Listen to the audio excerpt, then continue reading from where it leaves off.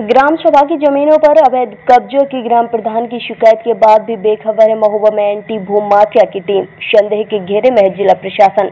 जनप्रतिनिधियों के कानों तक भी नहीं पहुँच रही अवैध निर्माण की आवाज़।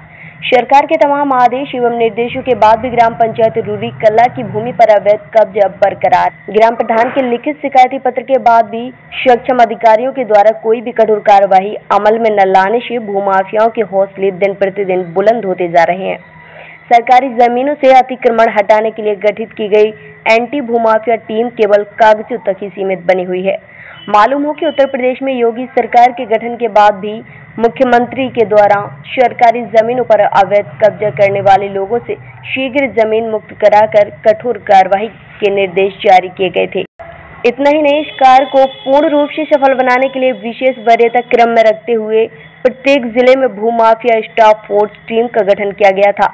मुख्यमंत्री के निर्देशों पर गठित की गई भूमाफिया टीम के द्वारा जनपद महोबा में चंद जगहों पर ही अपना फ़ोटो सेशन करवाते हुए खुद प्रशासन से मिलकर पीठ थपथपाते हुए इतश्री हासिल करने में कोई कसर नहीं छोड़ी।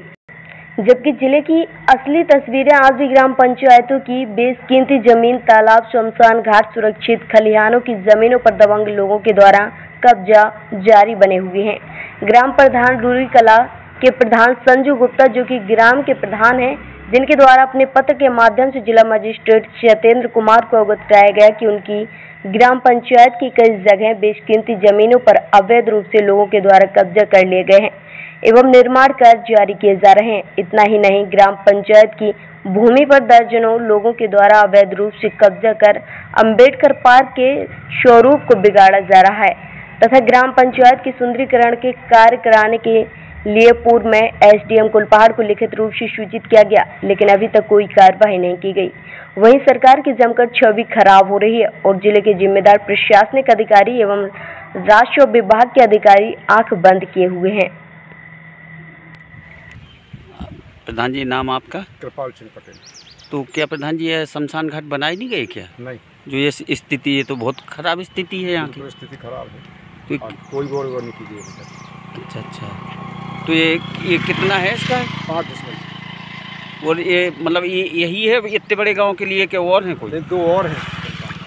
तीन हैं। अच्छा अच्छा। तो वो कोई एक भी नहीं बना? एक भी नहीं बना। यही स्थिति है तीनों क्योंकि आप लोगों ने मतलब कहा नहीं वीडियो साहब को ब्लॉक में? नहीं प्रस्ताव भी मांगे गए खसरा खतौनी भी दी गई प्रस्ताव भी दिए गए। अब पैसे का नहीं है कि नंदराम प्रधान के टाइम पर सारी चीज़ें मांगी गई। अच्छा अच्छा। ठीक। भैया नाम क्या है आपका? हमारा? हाँ ठाकुर दास। तो क्या समस्या हो रही है आप लोगों को? समस्या ये है कि यहाँ पे जो कीचड़ हो जाता है तो ना लोग निकल पाते हैं ना कोई और ढो बसी निकल पाते हैं। अब जब बारिश हो जाएगी तो एक आदमी निकलना मुश्किल हो जाता है यहाँ पे। हमारी समस्या ये है कि यहाँ पे कोई गंदगी नहीं रहनी चाहिए। ये क्या कौन सी जगह है? कौन सा स्थान है? अंबेडकर पार्क की जगह छूटी हुई है काफ़ी दिनों हो गए। अभी तक कोई सुनाई नहीं हुई इसकी। तो क्या आप लोगों ने इसकी शिकायत की है? हमने अभी तक कोई शिकायत उसका कोई सुनाई नहीं होगा अभी तक। अच्छा। एक दो बार कह चुके इसकी कंप्लेन लेकिन अभी हमारा ये है कि ये बनने चाहिए अंबेडकर पार्क। बहुत ज़्यादा यहाँ पे दिक्कत सारी रही लोगों को। महोबा से यूपी 24 न्यूज़ के लिए जिला संवाददाता संतोष कौशिक की रिपोर्ट।